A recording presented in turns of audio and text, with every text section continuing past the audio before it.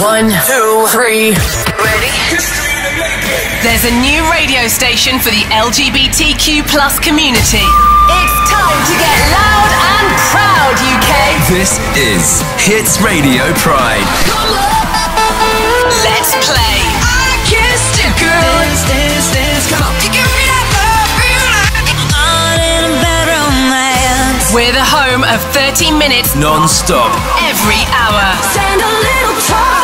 We work with incredible charities and we create powerful documentaries about life right at the centre of the LGBTQ plus community. Loud and proud. Loud and proud. But that's not all. We also know how to party. Baby, this is what you came for. Follow my simple instruction. Why does it feel so good? This is Hits Radio Pride. Let the world know. Get us on the Hits Radio app, online, digital radio, and on your smart speaker. Play Hits Radio Pride. Hits Radio. Pride.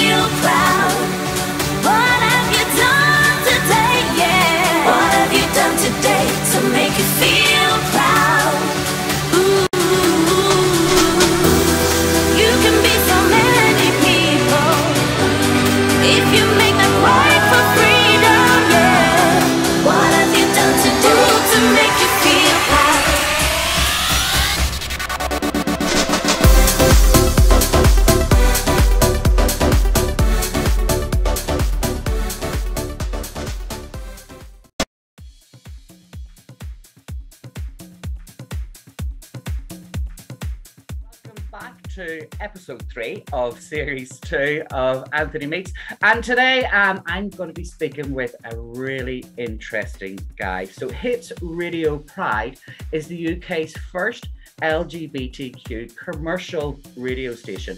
And I'm speaking with one of the guys that was behind making that happen, Ross Tilley, creative director of Hits Radio Pride. Hello. Hi, how's it going? I'm really good. How are you? Yeah, it's brilliant. Yeah, so I'm still working from home part of the time, so it's a bit like being in a time warp. Occasionally, it feels like 2020 all over again, but overall, it's fab. I know the feeling actually. Uh, my living room becomes TV studio, and then it becomes like my lecture preparation because I do lecturing, and then it becomes research space. So I, I know the feeling. Um, but look, uh, just going to jump straight in there. Hits Radio Pride. Tell me all about that.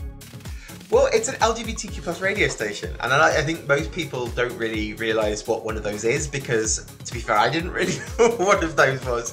I think. Um, uh, Radio is a really personal medium. Like you know, when you're listening to it, you tend to be by yourself. You know, community. You watch TV with people, um, whereas radio, it's a really it's a really personal thing. So, Hits Radio Pride is essentially a, a station for the community and our allies, um, champions um, and celebrates who we are, um, how we got where we are, and um, and the people who I guess bring the soundtrack to every day that we uh, that we are, are still kicking and, and, and being proud of, of who we are. Uh, and I, I've got to ask you, and I know it's cliche, and not that I would ever be cliche, um, but as a gay radio station, is that just basically Kylie Minogue and Madonna on loop? Yeah, pretty much. No, no, it's really not. In fact, you know what? The, the, mu- funnily enough, when it's it's actually the last thing that you we think of because I think you know it, it, we have such iconic musicians who form part of the the psyche of of the community. You know those those artists like you say, Kylie, Madonna, Lady Gaga, you know Callum Scott. Those types of artists that have a connection to um, to the audience, and whilst the music is such a big part of, of what an LGBTQ plus radio station is, um, there's a heart to it all. You know, there's there's a real opportunity to um, to try and make a difference and to make that personal connection that you know you're not going to necessarily get from watching a TV program or from um, you know sitting in front of a computer and solitary uh, spending time on Insta or Twitter or Facebook or whatever. Excellent. And I have to ask as well. So uh, it, it's not all just about music, is it? You actually tackle some serious subjects as well. Yeah, I mean, like I say, we're a music radio station. We're based on music, um, but the personal connection that we have to the audience is important too. And as a you know, as a, as a company that owns a number of really big radio brands like Absolute Radio, Magic, Kiss, Heat Radio, and Grazia Magazine, there's a really broad mix of, of brands in there. Um, we, we work for a company that allows us the opportunity to um, to think and to think about how we can use that platform. Um, and, and Hits Radio Pride is no different. One of the big things that we've been looking at is um, uh, is conversion therapy. Um, you know, it's a really sensitive issue at the moment because of because of the government backing out of um, making changes to the rules around that. And we know it's a really big issue, not just for people, uh, young people now who are perhaps um, going through an experience involving it, but also the people who've been affected by it. Um, and hearing those stories and sharing those stories on a radio station like Hits Radio Pride um, it's designed not just for us, but it's designed for our allies, and their voice is the one that, that really matters the most when it comes to championing, um, in, you know, our you know, the parts of our lives where we can be more representative in in other parts. You know, whether that Yeah. be how Yeah. we are represented in media or how we're represented in society. Yeah. So I mentioned a minute ago, like you are, you pretty much birthed this idea. How did how did it happen? How did it come about? I, I gave the way I kind of describe this is I, yes, I gave birth to the idea. So I already work for the company. I work for Bauer Media. So um, I work in Northern Ireland on our radio stations here, um, and um, I'm really lucky. Our company has this really kind of open door policy when it comes to ideas, and you know, despite the fact that we are diversifying how we produce content, so it's more kind of audio content rather than specifically radio content. Um, I, I grew up listening to these types of radio stations. Um, there were dance stations, and at one stage, I genuinely thought that I needed to be a dance fan to be gay because that's all those stations played. Yeah, yeah. Um, yeah. But but essentially, they they were there um, almost to put a soundtrack to your kind of crawl of gaydar. That's what Yeah, gaydar yeah. radio was. Do you know um, all my all my straight friends used to listen to Gaydar Radio? It was honestly, I mean, these are iconic brands. I mean, Gay, Gaydar Radio launched, was created by the people who ran the dating website. Um, they they closed down in 2013, and since then there wasn't anything nationally um, that that really could replace it. And I know that there are so many fantastic community broadcasters across the UK who are really working um, on on community radio and community content for the community community content for the LGBT community, and those the, you know the work that goes into those stations cannot be uh, overlooked. It's a huge thing that they're doing, and they're obviously targeting their audience. But for me, growing up, being able to listen to like I was feel like I'm part of something. So I suggested, you know, have we ever thought about launching a radio station, a pop-up station, you know, over the summer for, you know, a way for us to be able to bring all this content together because we've got radio stations all over the UK and each of them um, cover Pride in, in their own different ways. So this was about trying to think how could we use that and bring it together to create something that everyone could feel like they were part of, um, but it didn't feel like we were just targeting the LGBTQ plus community, and I think that's the key part of this. It's um, it, it's called Hits Radio Pride and not um, Hits Radio Gay or Hits Radio yeah, Bi, yeah. because um, having pride in who you are isn't just something that we celebrate as uh, as queer people. It, it's celebrated in gender as well as in sexuality. Yeah, and um, and I wanted to, and I thought I, I think we could really do this, and I was Yeah. really got a positive response. Um, I gave birth to the idea, but the babysitters have been in since then, and we plan to launch it as kind of a six-month pop-up thing. And um, and the, the managing director asked, you know, why, why are we only thinking about this as a six-month thing? And I was, from my perspective, it was more a case of, well, you know, if I go in there and ask for something, um, I don't want to, Yeah. I don't want to ask for the world and then come away with nothing. Nothing. So, Yeah, yeah. so I was like, well, yeah, it's a, but I was encouraged by what they were saying. Was well, look, if there is a real opportunity here, then let's look at how we do that. So, as a as a commercial radio station, you tend to start with, here is your product. Yeah. Uh, uh, uh, you know, how can we make money? How do we sell it? Yeah. Whereas with Hits Radio Pride, it was the other way around. The, the idea, the content, the love, the um, you know, the passion to put it together was what led this. Yeah. Not the desire to how we can make money from the community and how we can do more. This was about us trying to do something good Yeah. uh, for the community. And uh, do you know what? Actually, how refreshing is that? And it's something I, I, I want to say this um, without trying to blow too much smoke at Bauer or whatever, but they have really hung everything on the balance for this. They haven't gone, oh, we'll give it three months, and if it hasn't made this much revenue, or if we haven't got this much of readers or listeners, um, it's out the window. They went, we're going to do this. We're doing it. We're doing it right.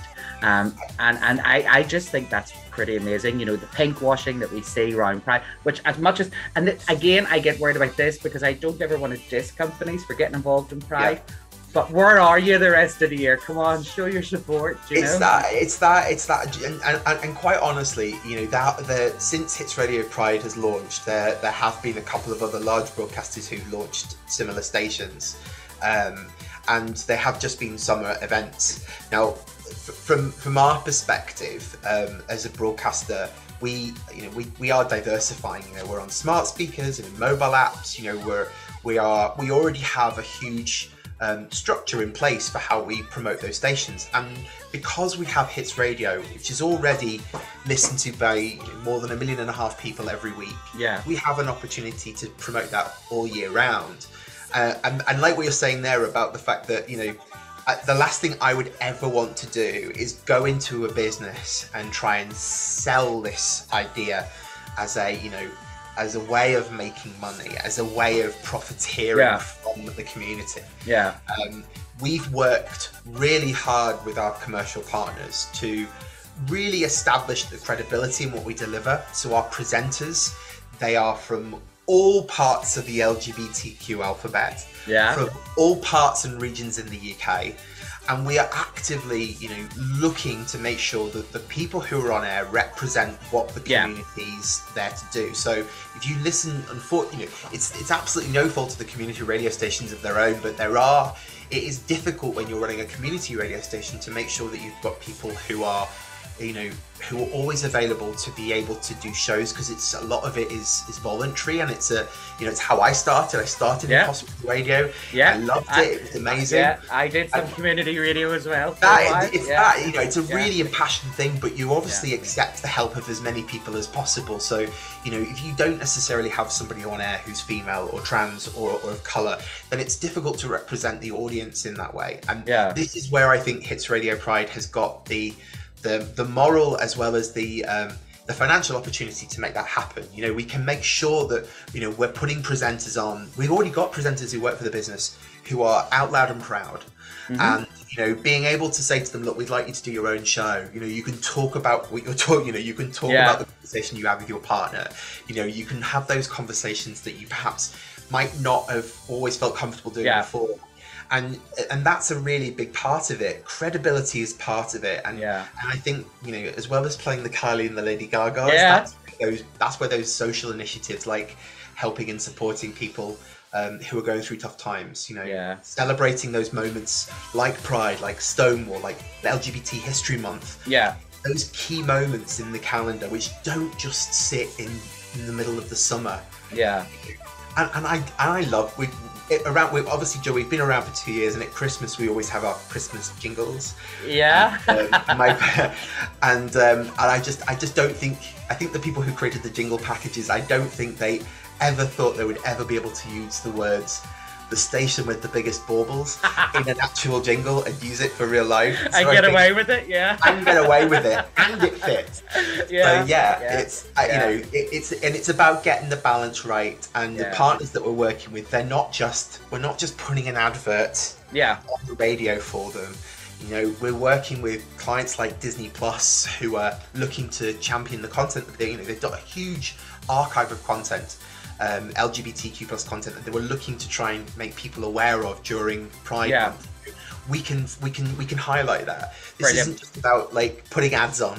Yeah, brilliant. So I just want to go backwards with you. So um, you you talked there about the talent on the station, and they're all they're all queer. They're under the the, the, the title Yes, queer. So yes. in some way or another. Everyone represents. That, yeah, well, I, th- this is something, you know, I, um, so you know, I was involved with civil partnerships. I did some TV and, and different sorts of stuff through that. Um, but what happened after that was we found that production companies were co- uh, coming to us for the development rounds. So they'd have this wonderful idea that attaches to the idea and pitches to TV stations.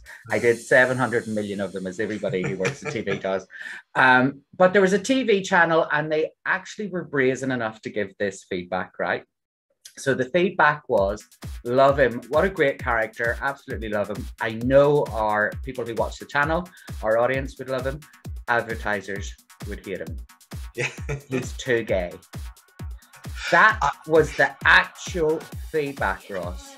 I, I, I, you know, it's it as an industry. Um, the irony is, we probably have a higher percentage of LGBTQ plus people in, in in any industry than you. Yeah. Me- Media is a very LGBTQ plus. You know, it Yeah. tends to be. In fact, I think I read a statistic that I think is it. What is? The statistic is what three in ten people identify as gay. 57% of people don't identify as 100% heterosexual. Yeah. And the, the radio industry specifically, um, it's actually closer to 8% of people who identify as LGBTQ across the radio industry. Right. Okay. And that's, you know, that's a higher majority. And you would expect as a result of that for there to be decent representation. But I think there's always been, especially from broadcasters like the BBC, not so much more recently, but traditionally, about being very careful on how they approach um, the positioning of, of LGBT people on in television, in TV programs. You know, you've got this kind of, you know, if they're doing a Colin and Justin and they're doing style and it's, you know, they're, kind of, they're almost like a eunuch and there's no, you know, there's just Yeah. completely sexless. It's, you know, yeah. and that's that's okay. But the Yeah. moment that you start creating fully realized people, um, then it becomes an issue. I mean, Yeah. you can you can understand program even like you know, Rylan from you know on Yeah. this morning, you know. Trying to get you, you went back 10 years, you know, you've almost got Graham Norton. You know, Graham Norton literally was just a, you know, a funny person on a stick, you know. Yeah. Julian Clary. I'm showing my Yeah. age. I'm showing my age Those- now, but Julian Clary. But that stuff there, and, and, and that's why it's really important because advertisers and commercial businesses can now see how important diversity and inclusivity is. Yeah. And as part of that, you know, it's part of what we do internally as a business. You know, we celebrate those milestones internally. We talk with our people um, and, and try and educate them. Yeah. But we know we've got a responsibility to move the dial forward. Um, Yeah. In Northern Ireland, it's a bit more, it's a bit different um, because we only obviously got same-sex marriage within the last couple of years. Yeah. Because that was considered a political issue, that meant the BBC couldn't Yeah. take a side. Whereas with us, we were able to say, as a commercial business, we will take a moral viewpoint of this being love is love and everyone should be accepted Yeah. for who they are. And we can we can shout that openly and loudly and proudly. There are Yeah. organisations that can't do that because they have to think you know, they have to think that they're neutral. But I'm really hoping that we're moving away from those times. Yeah, and I think that's it, isn't it? Whenever you're creating a business, you're you're the credibility's got to be there, right? Now, I'm definitely, you know, I came out of the closet in the '90s, so I'm definitely that kind of queer as folk kind of guy. You know, I I am that guy. I worked as a I worked as a dancer in the gay clubs on the podium. You know, I did I did all the boxes. I was I was that '90s gay, right? I was I karaoke shows with the you know the glittery behind you and stuff like that. And I love it. I absolutely love it. But we have to be careful about that too, don't we? We have to be careful that that doesn't become our brand because that's not who we are. You know, I'm also a lawyer. I'm a university lecturer. I also am a college. You know, there's so many different elements. We're not just queer. Um, And that's it. And, and that's exactly it. yeah. We have a responsibility to reflect the type of content that we want to see on the screen. And that's why, you know, I, I I'm I'm gay. I identify as gay. I, the people who I work with on Hits Radio Pride identify as part of the community too. We have open and frank conversations about the content, the music, the playlisting. You know, championing LGBTQ artists, championing LGBTQ plus presenters. We are very acutely aware that the responsibility that we have to making people to educating people. You know, if you look at the soaps from five or ten years ago, and you look at the storylines, the LGBT, you know, the gay characters, the lesbian characters were always the ones there to break up straight marriages. Yeah. Every soap, every soap. Now that is how Hold on, hold on. Do you remember when Anna Friel had her snug in Brookside? That was the very first lesbian kiss on Channel Four. That Yes, was it the very amazing. first. Yeah. But that's what I mean. They Yeah. created that, and what was you know what was the issue? It was shocking. Yeah. it's uh, it's up to us to make sure that that doesn't feel shocking and the only way of doing that is making it part of the fabric of what we do Yeah. you know when we've got presenters on air and they are you know they're talking about what their pronouns are you know when we're introducing presenters and we're introducing artists you know it's our responsibility to make sure that those pronouns are right so that we are educating people in the same way as well and and that's not that's a new thing i mean like trying to educate people about LGBTQ is is is, an, is is never been an easy position. Yeah. But now there's this huge focus on on gender identity, Yeah. and it becomes it becomes the next big thing that needs to be broken down. So we've got responsibilities to make sure You that we don't end up like that. We have Absolutely. to reflect what we want to see. I've got to ask you actually, by the way, um, and uh, you'll probably kill me and she'll probably kill me, but is it your godmum loves the BLTs? my my godmother Roz um, is she is Mrs. Bouquet. Yeah. She- honestly, oh my, she's fabulous. She is fabulous. She um, she's she's one of the closest people. She I love her to pieces. She's one of the she's one of the, the most dearest people in my life, and I think um, she doesn't mince her words. But she always wants to feel as if she's being accepting and open, and she wants to learn. And I think that's the key thing. There is when people don't necessarily Yeah. understand, they Yeah. want to know. They don't always know if they should ask. Yeah. She never has that problem. She always Yeah. asks. Yeah. Um, so for a long time, she kept referring to me as part of the BLT community. I love it. so, so yes, no, no. I'm afraid I'm. Jo- I'm, I'm yes. So, I think I uh, think that's a really good first date question. If you were in a BLT, would you be the bacon, No. the lettuce, or the tomato? Which one are you? I, I, I mean, I genuinely think that she thinks that perhaps we'll get this gay Momo when they add an extra letter on the end, like you know, breaking news from the gay mem, you know, LGBTQ plus IA. Um, those, yeah. I mean, look, it's it's it's she she gets it, she Yeah. understands it, and, Yeah. and I think that she has the best attitude. Yeah. She asks. Nobody is gonna, no one is gonna shout you down or or, or get angry with you if you come to it from a, a good place. No, I think I mean she's seven. She's seventy six.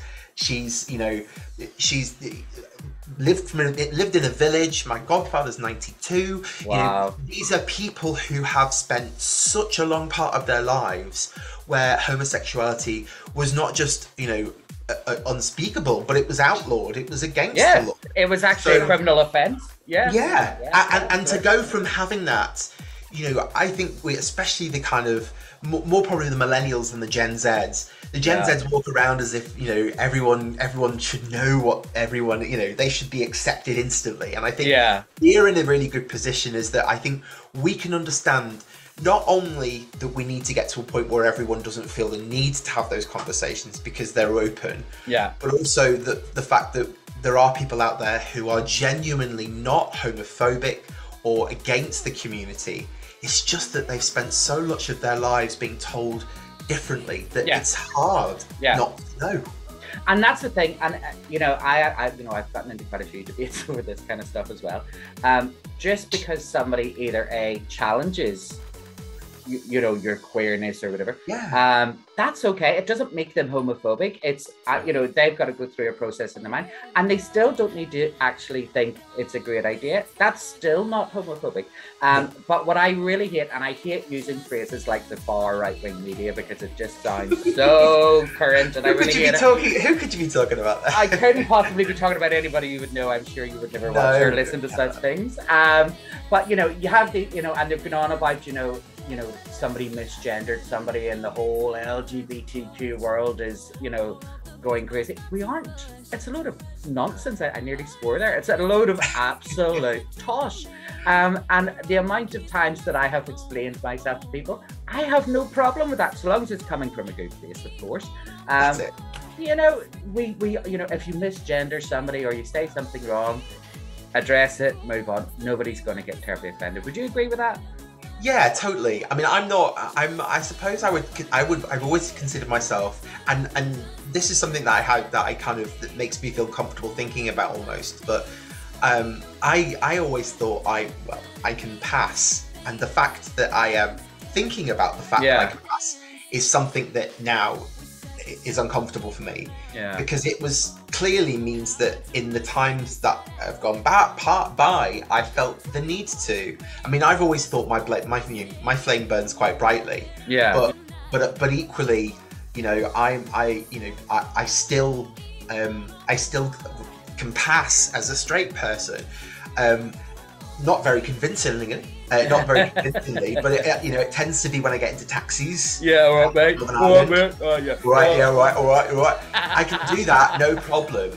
Um, because I still think, like you say, there are people out there you don't know what type of reaction Yeah. you're, you're going to get. You know, Yeah. it was everyone um, of a certain age who came out before rules and things like that were introduced and the society was less accepting.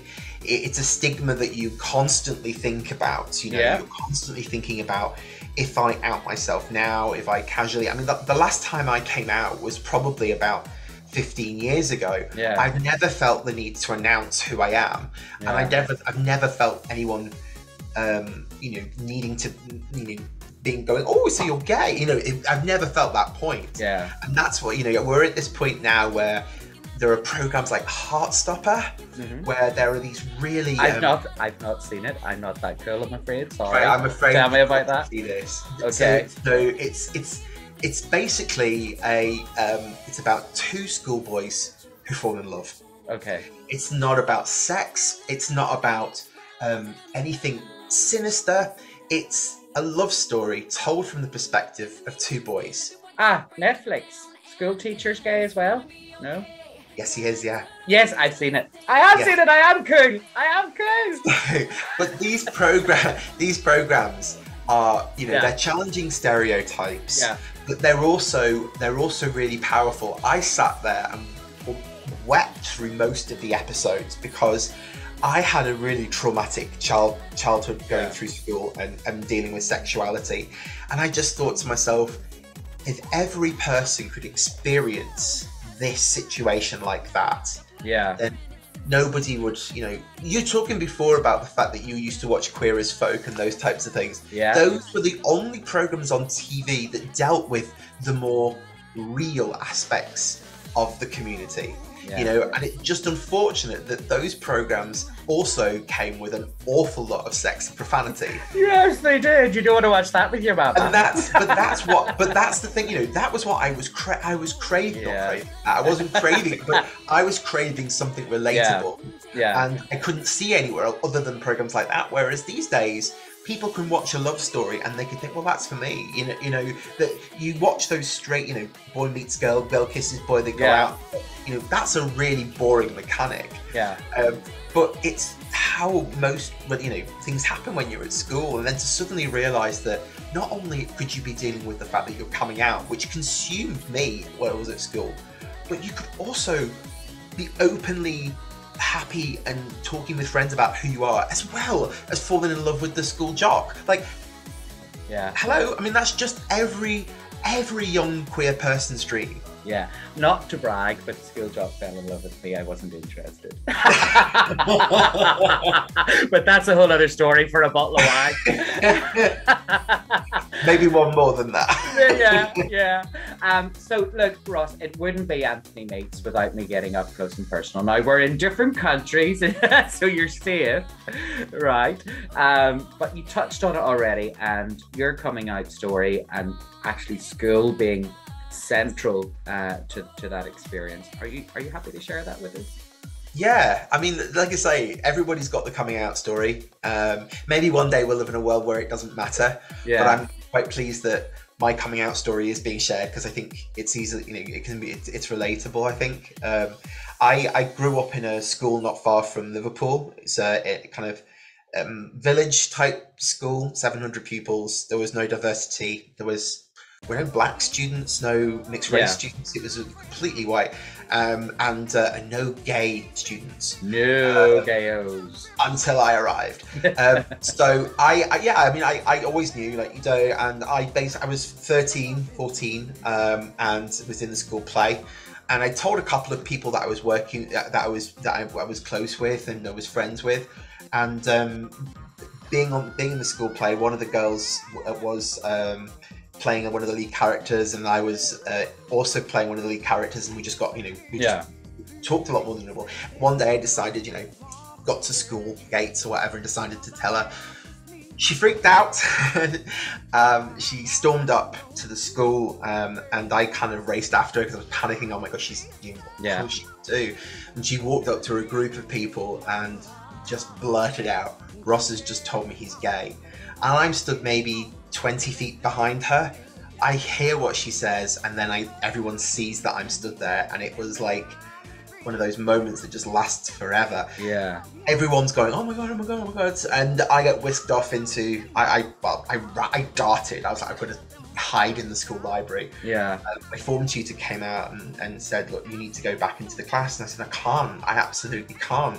And I was just petrified because I thought I'm going to have to explain this all. Yeah. Um, and um, so she, the teacher to me, look, Ross, if you don't tell me why you need to go in, you're going to have to go to the office. So I, I, told, I said to her, I said, they've just found out that I'm gay. And there was this kind of active disengagement from the teacher. She kind of backed off from being concerned to this kind of like, oh, okay. Mm-hmm. Um, right.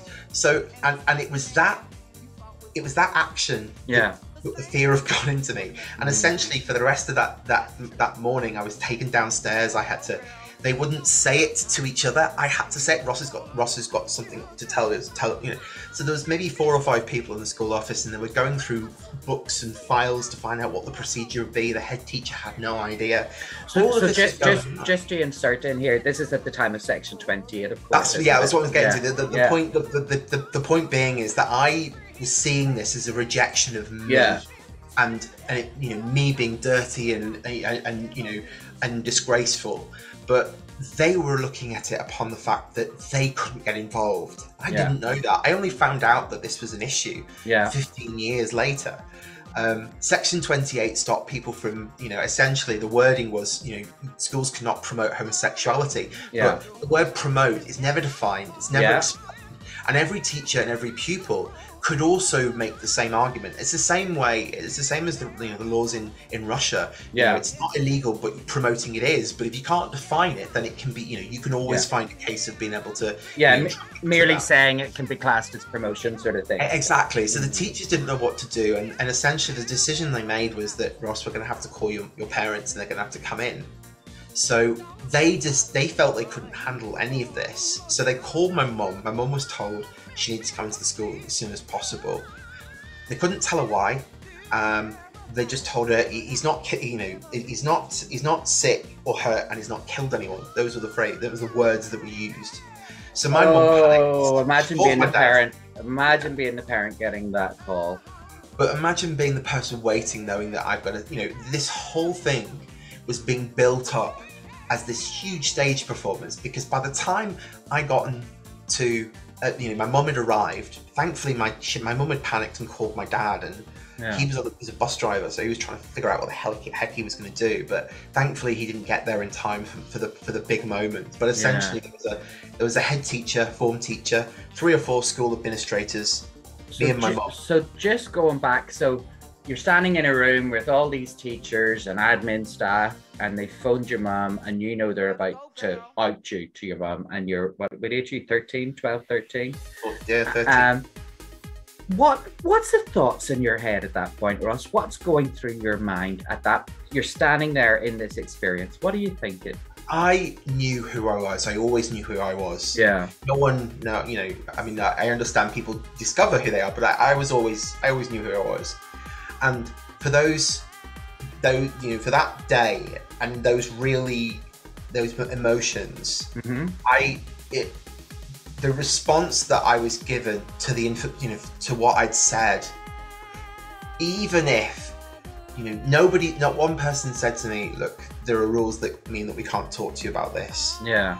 I was never their ex- but their responses were never explained, and so all of those emotions that I thought could would be serious and you know I'd be in trouble and all all this other stuff was kind of in my head as this is all my fault. This is something that I've done. What I shouldn't have said anything. You know, the the, the obvious questions kept getting asked. You know, like you know, it's, it's a phase. You don't know what you're talking Yeah. about. Uh, But I, I mean, the school basically said, look, I mean, you're going to be bullied. You're going to be bullied. You know, um, it's nothing you can do about it. And the problem was the school couldn't do anything either. They could stop physical bullying. Yeah. In the same way that if you were being racist or you were making other comments about someone's appearance, because sexuality was not ident- it wasn't recognized as part of the curriculum, and obviously because of this promotion act, the wording for the for, for section 28, they they basically weren't able to um, punish people for making those comments in the same way as they would if you know they can stop it they can stop that but the person can't be penalized for what they're saying because it's not officially recognized Oh, I see what you mean. So it couldn't actually be bullying because it can't actually be talked about to be bullying. So therefore, It it, can be- it doesn't can- exist, kind of thing. exactly they can stop it they can if there's a fight they can stop Right. it if there is Yeah. you know anything like that but I mean, if you were to say someone, oh, you know, you, if, if, if someone was to make a comment about my weight and they said, oh, I was fat, Yeah. that, that that essentially if someone was to make a racist comment the racist comment despite the fact that it's still words the ramifications of it and the fact that it's a protected characteristic would mean that the you know you would be seriously in trouble for that even Yeah. though it was the same as calling somebody fat it was the opposite with anything to do with sexuality they could stop it, but they couldn't punish it because punishment meant acknowledging that it existed. So this whole thing happens. I mean, it- and, and they basically said, look, you're going to have to go back into the closet. You know, you're going to have to. It's the only way we can protect you. And I just remember thinking it's the first adult decision that I can ever remember thinking that I made the right decision, even all these years Yeah. later. Yeah. I I can't go back in. I know I have to live with this. And as a result, I almost felt like I had to prove to, my- to, to everyone around me that that's who I was. Yeah. Because there was no way that I could go through this a second time. Um, you know, How did you cope? How did you cope with that? I mean, you're only a kid. How did you? well, my cope? mum, well, one of the teachers asked me, and I can't remember saying this to her, but years later she said to me, you know, how how did you, how do you cope with stuff being said? I mean, 700 pupils, not huge diversity, and Yeah. everybody knows who you are. Yeah. Not least because I was in the school play and I sang and all that stuff, so I was already written off when it came to credibility. Yeah. So add this on top of that. And I just said like I I almost feel like I have to pretend that I'm a celebrity and you know like and, and like you know celebrities might get a bit of flack here and there. And I when she was telling me this back, I, I can't love saying that. this to her. But it was such a it was so sad to hear that that I'd said that because it almost felt like I'd accepted that that's how I deserve to be treated. Yeah. Not only by the Like, yeah. It's the it's school like kids, the, but by the teachers. like you the, know, the like the bearded lady at the show kind of thing. There's nothing that I can say that would made would have made a difference. But I will say this: the sec- section 28 when it was cancelled, because that was so closely linked to education. When it was Yeah. cancelled in 2003, when it was finally repealed, LGBT History Month started, Yeah. and it's something that I'm really I'm really passionate about now. Um, both representing it on on Yeah. uh, radio and media for, for, for work, but but personally because there's a uh, there's an organisation called Schools Out, and they are in schools talking to children about representation, and it's so nice to know that the school that I went to today they have an LGBT alliance. hmm They uh, one of the girls that I went to school with, um, she came out as as lesbian. She's part of the board of governors, and she also runs this group. There are so many rules these days that protect Yeah. who you are as, as as anything like that. To not just to sexuality, but also to gender. And and I think to myself, it's stories like mine where you're able to see the progress Yeah. that show you we are still moving. We're bounding forward. We will not get there tomorrow or even next year, but knowing that I can look back and see how we've changed over 20 years, I feel more confident that we are moving forward. Still Yeah. means that we need to put the effort in there. Oh, we absolutely do. Um, you know, the, if we get weary in any way, it'll um, it'll disappear from under us. And and actually, when you said that and, and talked about LGBT History Month, I thought to myself, hmm, what have I done? And and and, and I'm embarrassed to admit this, but it, it has kind of not been in my mind. Um, and my agent got in touch with me for this one and went like, because they do a lot of PR on Insta Mhm. and different sort of stuff. And they said, look, have you done anything for LGBT History Month? Because I'm one of their LGBTers. And I went, oh, is that, what- is it now? Oh, right, okay. oh, uh, and she says, uh, can you make a video? We- can you get we- something? And then I felt terrible, You have you know? to. You have to. I mean, like this. You know, I, I work for I work for Bauer, and, I'm, and as part in that role, I, I'm uh, LGBTQ lead for um, our DNI initiatives. Um, but I also speak frequently with the people who run our radio stations. Yeah, And for LGBT History Month, you know, it's been around since 2003. And it's so important because it celebrates the peoples whose shoulders we stand on today. Yeah. Those brave people who made the first steps yeah, you know they recognizing who they are and showing people that they can be the brave one they can Yeah. be their hero for somebody else yeah, It's important and that's why um, you know on hits radio pride it's all we talk about yeah. uh, for that month. You know our, our radio brands whether it be um, Kerrang or um, we uh, we also own motorcycle news and performance bikes yeah. you know these really masculine traditional masculine brands. Um, but we're challenging it. And during L- during those lgbt history month um, uh, lgbt history month activity we try and make sure that that representation is shown. But it only works when the people who are have got the power like you know working on a radio station working Yeah. in the media we have to be the ones that say this needs to be said. And i think because We when we grow up we longed to see those people that we could say is oh you know that's that's where i want to be or that's who i want to be and if he did it why can't i do it the only way that happens is if we recognize that, that we needed that voice Yeah. and in the jobs and positions that we're in we are making sure that we're championing those right Yeah. from the start Yeah. so the reason you've probably not heard of it massively is because realistically and that it's only really come up in prominence the last three years yeah, you know, there's a fabulous woman who runs it called Sue Sanders. I always, I always refer to her as she's a very militant, a militant woman. Yeah. She she sends she sends every email in solidarity, and and I'm just thinking there are, there are so many people who um, who need to hear.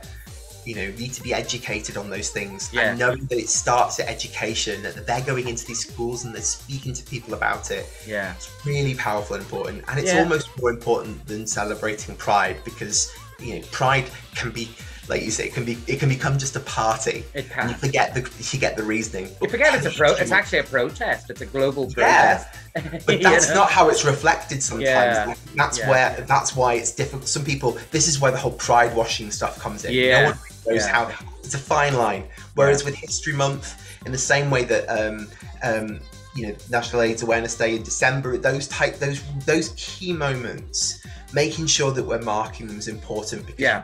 We get some 13 year old you hmm. there's a 13 year old ross sat there right now Yeah. back years ago waiting to hear something that he can relate to Yeah. and I, I feel proud that you know with hits radio pride there is something there now that i think ross from 13 years ago can relate to That- listen, Ross, I think that's excellent, and I think we all, um, all of us under the queer umbrella, we really do have a responsibility. Um, if we're comfortable, no, you know, I'm not talking about pushing people out of closets No, and stuff. nobody- but, you know, but nobody we've got to, we've got to do what we can do. You know, I mean, I remember I was involved with Belfast Pride back in, I think it was 97, 98, and there was literally about 200 of us went through Belfast City Centre with the double decker bus, right?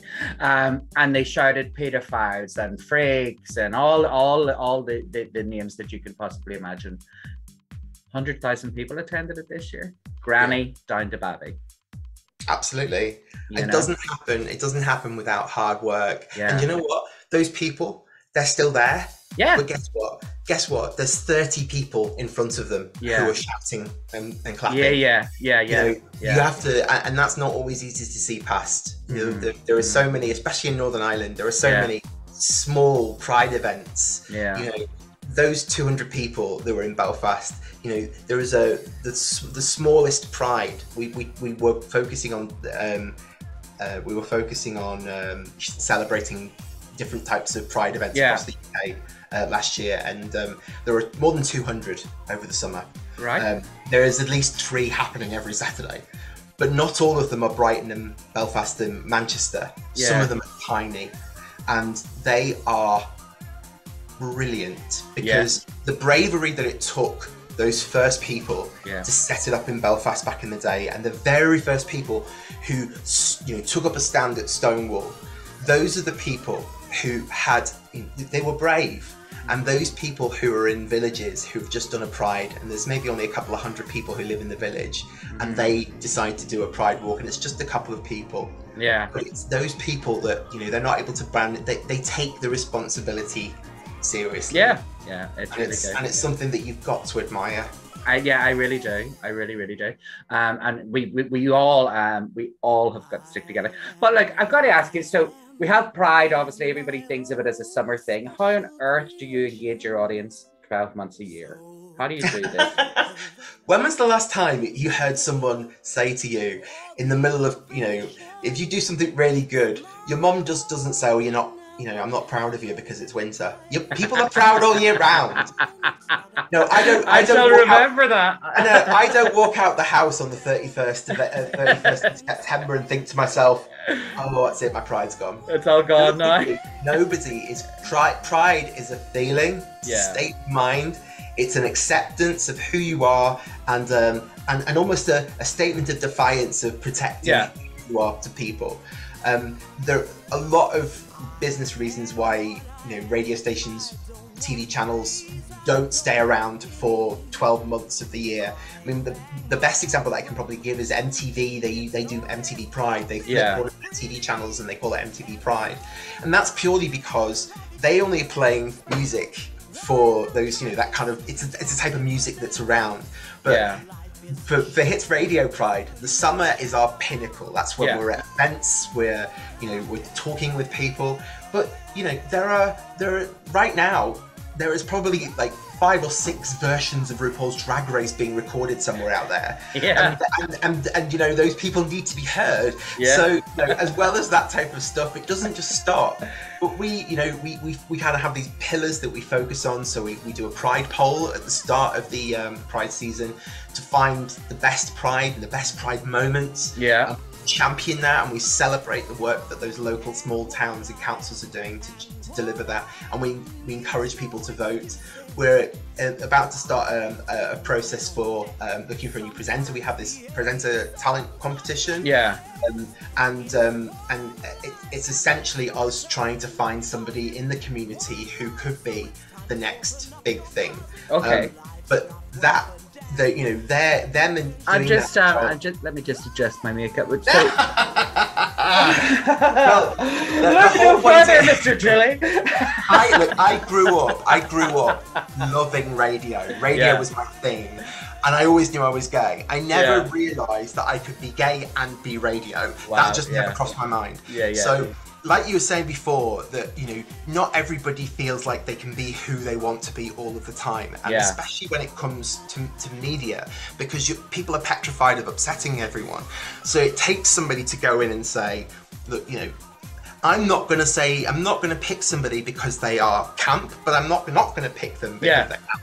So this is this is about representing not just um, you know get white gay gay men, but also making sure that we've got representation within LGBTQ um, across all of the country, um, and that's important. And then we also do a thing. We also do things like the um, pro, something which runs all year round is called priority play and we're working with new lgbtq plus artists we're celebrating with really big bangers as well Yeah. but you know getting in an interview speaking with them doing that Yeah. sort of stuff all of the all of these things yes, we could have just run it for three or four months, Yeah. but realistically, for it to work and to have an impact, it's got to be there all the time. Yeah, it does. Absolutely. and, does. and that's why and that's why it is you know we're lucky to work for a company who really believe in it Yeah. and um, and i genuinely think that you know there are other businesses that perhaps are not in a similar position and there are a lot of other challenges but we're very lucky that we've got a brand like hits radio which is national um, they've got a backbone of stations across the uk and we've got presenters and, and teams of people who can really who are really creative Yeah. and if it's not Pride, it's Eurovision, and Eurovision is coming to England. I mean, come on. I know, Eurovision's shut up, shut UK. up. so, so you know, we for the last two years we've gone Eurovision crazy, and I you know, know. next year feels like it's our reward because we actually get to bring it home. You know, It's Oh. kind of, it's actually, that this one has actually put me a bit on the spot. So I was supposed to uh, fly out to the last Eurovision for Queer 40 and do kind of like a web series live, Insta, sort of Facebook lives, all this sort of stuff, and then set up some interviews. And I was massively committed to it. Um, but then I was also finishing off my barrister training at the same time and also with Miss Lecture, and it just didn't happen. Um, so I never got around to organizing anything else, and it's just become one of those things. And now it's coming to England. It's kind of like it No. almost feels like the gay gods have went, Mr. Miller. you did not come to the mountain. The mountain has now come to you. it's important. It's important. I mean, it will literally be. It will literally be like a live version of grind of Grindr. Yeah. I mean, like, you know, it's just, and nobody, you know, nobody's not happy with that. Yeah. So you know, there are so there are still a lot of towns and there are a lot of cities that I think there's I think there's maybe four or five. It's Manchester, Liverpool, Yeah. couple in there. But you know, obviously the the the point being is that where they're obviously representing Ukraine and obviously the difficulties that they're having in being able to host it.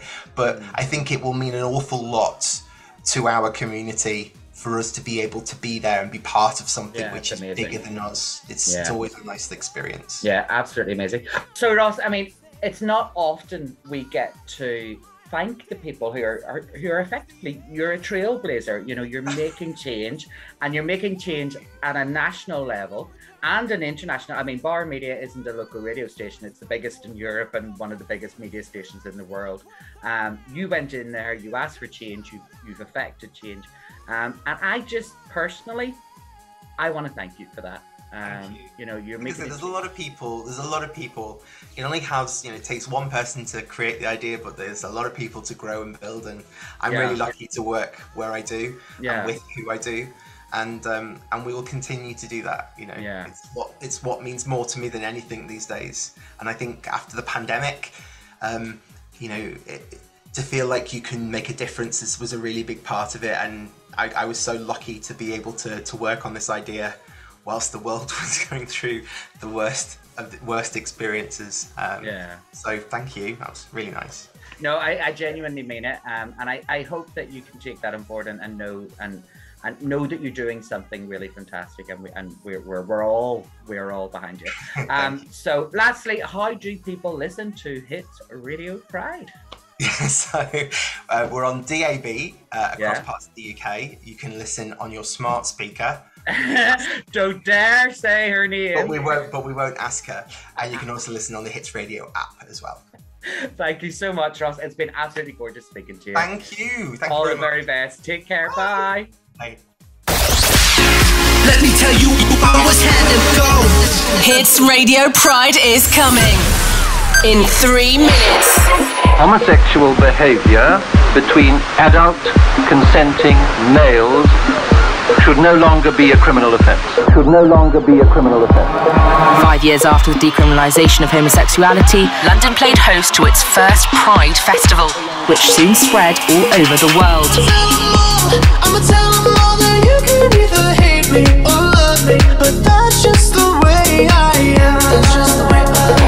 government is planning to give homosexual partners many of the same rights as married couples. I wish to be judged as a human being, Has the support of MPs from all the main political parties. not as a lesbian. All people should be treated equally. They wanna keep, keep, keep us out, can't hold us down anymore.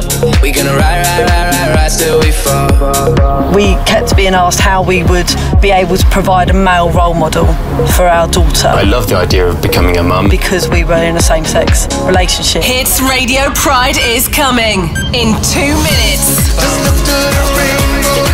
As gay couples legally tie the knot Victory for gay and lesbian couples. for the very first time. Fought so long for their basic civil rights. The ban on homosexuals serving in the military has been suspended. Finally, lesbian and gay citizens will become fully equal. The UK's first fully decorated Pride train is making its first journey today, complete with a huge rainbow flag. All loving same sex couples the dignity of marriage across this great land. I'm right over here. Why can't you see me? If I feel like a woman and you didn't even know I wasn't a woman, then what's the problem? And it fills me up, and it starts to shine, and I see it burn when you bring me sunlight. Loud and proud. Loud and proud. Loud and proud. Loud and proud. Turn it loud. Loud and proud. Getting ready to go loud and proud. Across the UK. Hits Radio Pride is coming in one minute.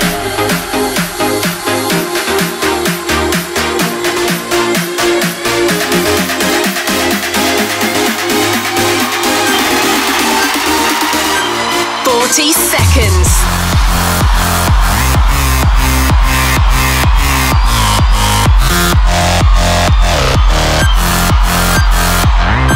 Thirty seconds.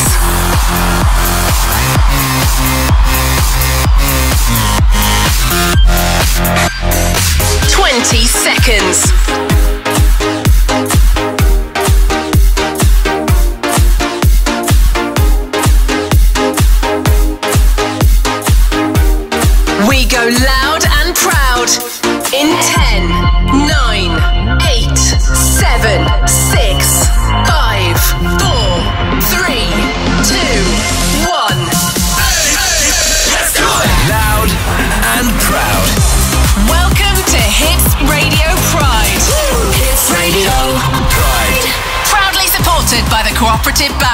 Good morning. It is just gone eight o'clock.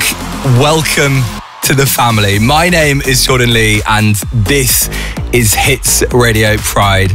It's an entirely new station for the LGBTQ plus community, and we're just kicking things off with a bang. We've got some of music's greats with us to start. Kylie Minogue is going to be here. MNEK, Regard, Sigala, Anne Marie, Mel C, an actual Spice Girl, and so much more. I'm going to be with you from 7 every morning. Charlie Powell in the afternoon, and we're in the mix from 7 every single night. There's so much to tell you about, but we've got to start somewhere. So, our first guest on Hits Radio Pride, and here to help press play on the first ever track it is Ollie Alexander from Years and Years. Oh my God.